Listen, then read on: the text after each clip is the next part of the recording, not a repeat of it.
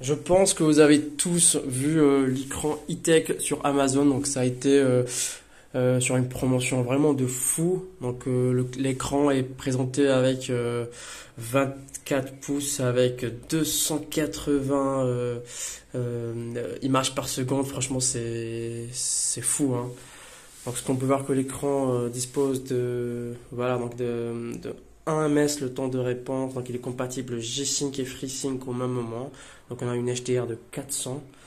Euh, donc comme vous pouvez voir, donc ça c'était mon ancien écran euh, Iliama, il est aussi pas mal, mais j'ai eu plein de soucis avec.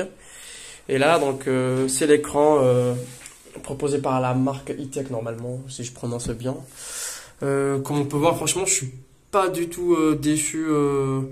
Parce qu'après avoir lu les commentaires, je me suis dit que ça va être de la merde, alors c'est vraiment pas le cas. Donc on peut avoir le taux de rafraîchissement à 280, mais c'est vraiment quelque chose qu'on ressent euh, quand on fait du gaming, euh, c'est vraiment quelque chose qu'on peut ressentir. Quoi. Hop, donc je vais juste mettre ça sur YouTube. Euh, je pourrais peut-être faire un test de jeu après.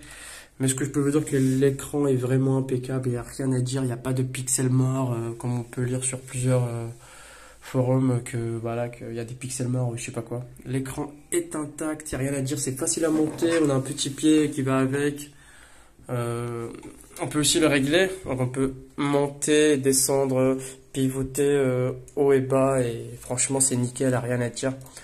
Donc euh, si vous trouvez toujours la promo sur Amazon, moi je vous le conseille direct, il n'y a rien, il n'y a pas de y a pas de propagande dessus, prenez-le, il n'y a pas de a pas de problème. Sur ce, ciao ciao